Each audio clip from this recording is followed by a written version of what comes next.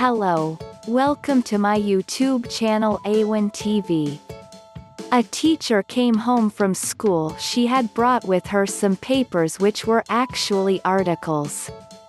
It was the children's homework for the children to write an article under the title, My Wish.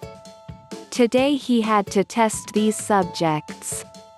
After dinner, she began checking in.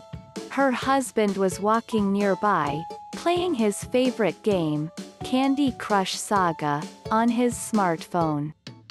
As soon as she read the last leaflet, she burst into tears. Hearing her sobs, her husband came running and asked her why she was crying. What happened? Why are you crying?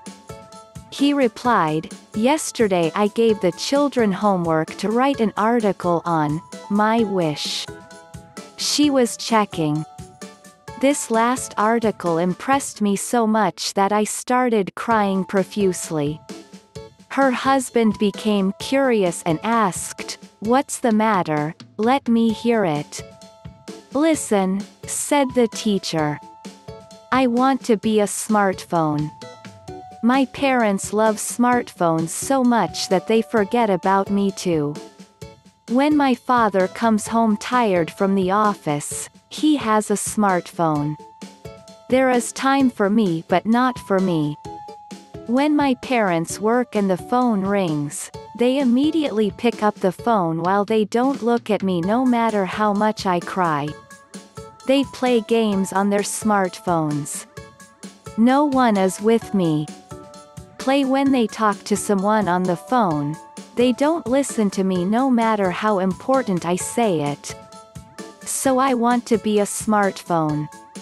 Hearing this, the husband became emotional and asked in a full voice, which child wrote this article? Teacher. Our own son.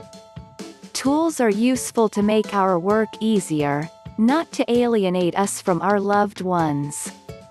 Children live in their society, see, hear and understand everything, accept its effects, our actions make an indelible impression on their delicate minds, so we should pay close attention to the fact that any of our actions make the minds of children. Don't accept any negative feedback.